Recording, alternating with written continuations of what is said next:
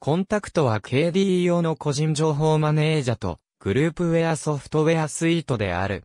カレンダー、コンタクト、 ToDo リスト、ニュースとメールをサポートする。多くのアプリケーションをアプリケーション内に組み込むために、 KParts を利用している。最初のグループウェアコンテナアプリケーションは、マティアス・ホールツァー・クレッペフェルによって書かれ、後に KDE のソースレポジトリに移された後は、ダニエル・モルケンティンによって保守された。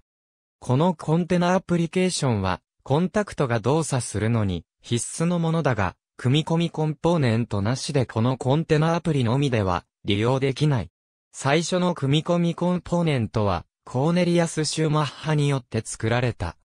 彼は、キャドレスブックとコルガナイザーの2つのアプリケーションを、アドレス帳とオーガナイザーのコンポーネントを作るのに、改変した。この段階では、メールクライアントコンポーネントが存在していなかったため、KDE は、機能的なグループウェアアプリケーションを書いていた。しかしながら、コーネリアスのこの仕事は、他の開発者がこれをベースに開発を進めるためのプロトタイプとなった。その後、ダン・サンダースは、欠けていたメールクライアントコンポーネントを、クメールアプリケーションに改変を加えることによって作成した。